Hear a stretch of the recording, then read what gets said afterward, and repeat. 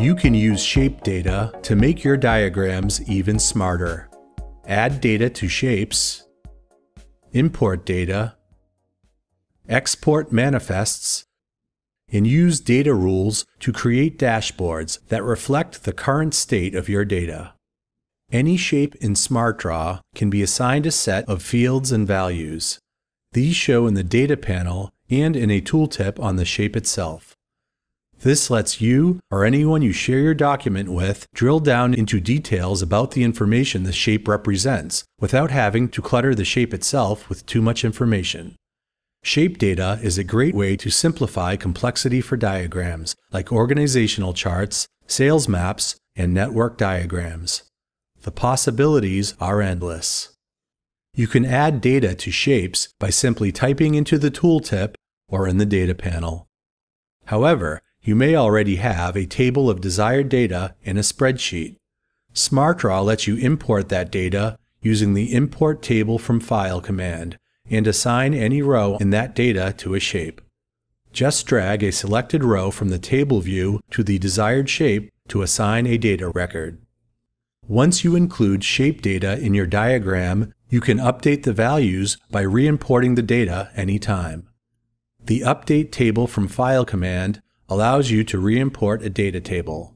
For example, if you need to update a sales map that you created in March, you can import new data to show the April numbers on the same map. There are two ways to export shape data from a document. You can simply export the data as a table in a CSV file, the reverse of the import command, or you can create a manifest that combines the data and counts the types of any item selected. A manifest is a report that combines data for all the shapes into a smaller number of rows.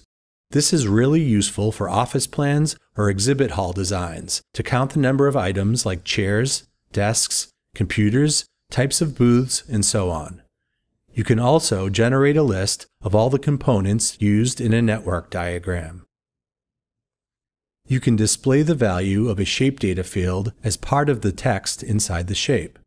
You can use this to update a change in role on an organizational chart show who a specific task is assigned to, or show if a particular issue is at risk. For example, updating the value of the name field for this shape will update the text in the shape.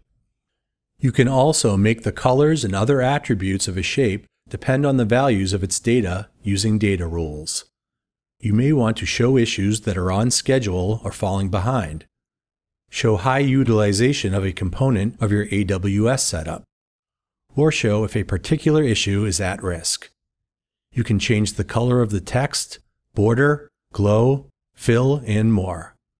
Combining the ability to change the appearance of shapes with updating of data via import allows you to use a diagram as a dashboard that reflects the current state of your data.